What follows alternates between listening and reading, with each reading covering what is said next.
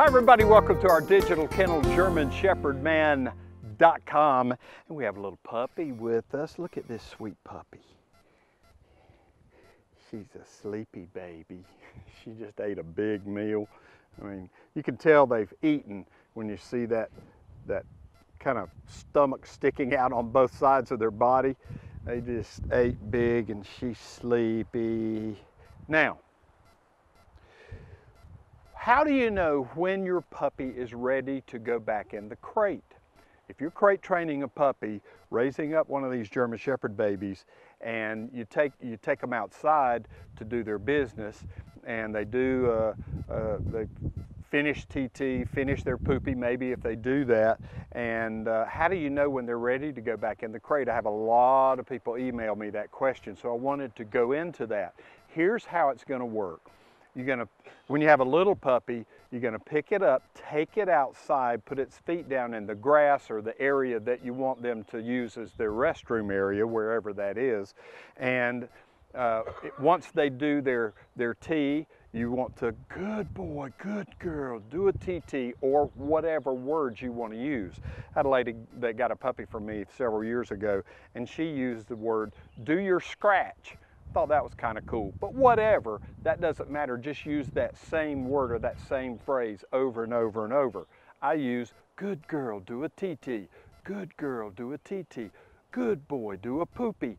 Good boy, because I want to be able, I want them to be able to tee and and poop on command if I go on a road trip with them, maybe years down the road. I want them to know what do a TT means, boom, squat. I want them to know what do a poopy means, boom, unload, so that we can take a, a break on the road and not be 30, 40 minutes out there waiting on them to do it. I want them to just know to do it. Now, how do you know when it's time to go back in the crate? Here's the key. Once they've done their business and you've rewarded them for doing their business, then you want to play, play, play, play.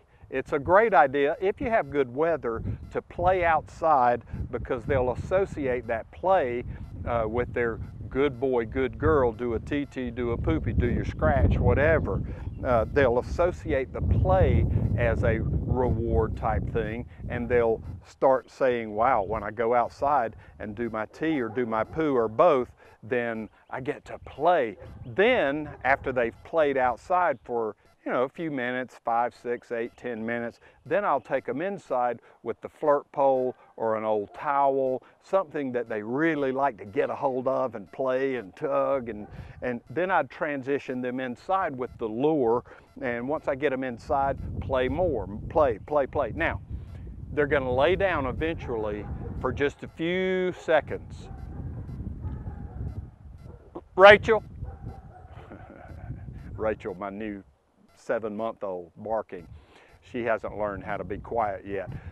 They're going to lay down for a few seconds and then they'll get right back up. Play, play, play, play, play. And then they'll lay down for maybe eight seconds. And I'm counting.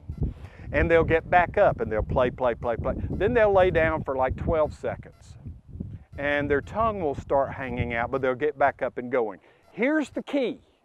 Here's when you know they're ready to go back in their crate.